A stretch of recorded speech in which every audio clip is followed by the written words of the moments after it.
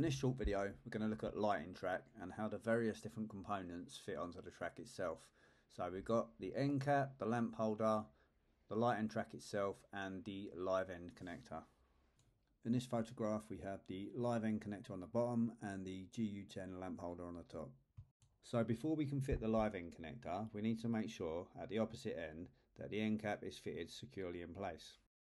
If you do try to fit the end connector without the end cap in place, you'll find that the internal copper bar and insulator will likely be pushed from the opposite end.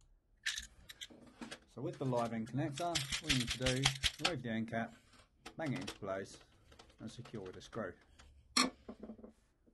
So to fit the light lighting lamp holder, all you need to do is insert into the track, turn it at a 90 degrees angle and ensure the collar has locked in place.